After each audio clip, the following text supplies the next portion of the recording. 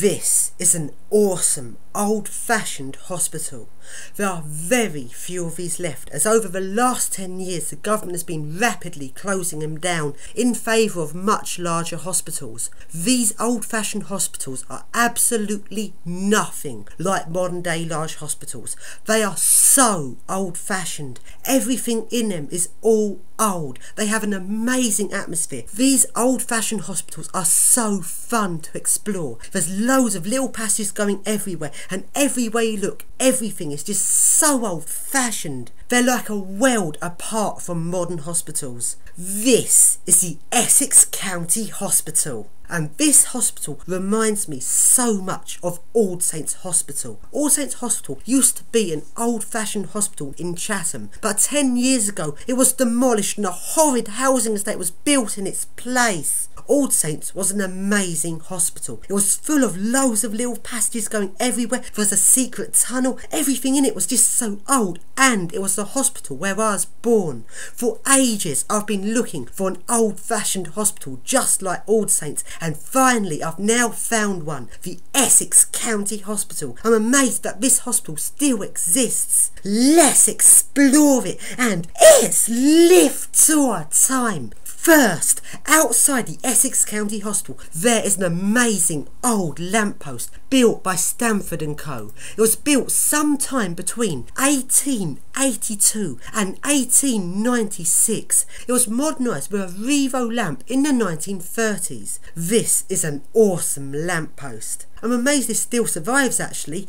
And now, let's go and explore the Essex County Hospital. And first, coming into the entranceway, and just look at how old this entranceway is. Just look at this place. It's just amazing. And look at this old sign. This sign must be from the 80s. A warning about radio telephones. Who uses the term radio telephones nowadays? And now we go to the first lift. This lift looks really old, but sadly it wasn't working.